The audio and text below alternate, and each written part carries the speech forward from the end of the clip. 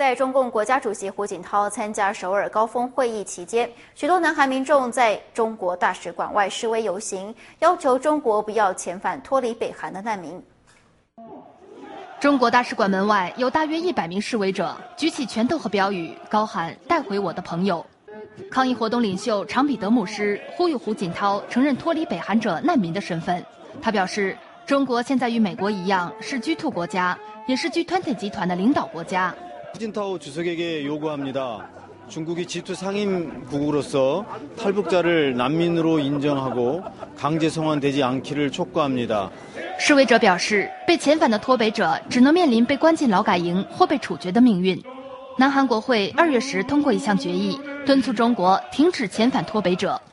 根据首尔统一部的数字显示，目前已有两万多名北韩人士为摆脱北方的贫困和压迫而成功逃到南韩。 新唐人记者方鹏综合报道。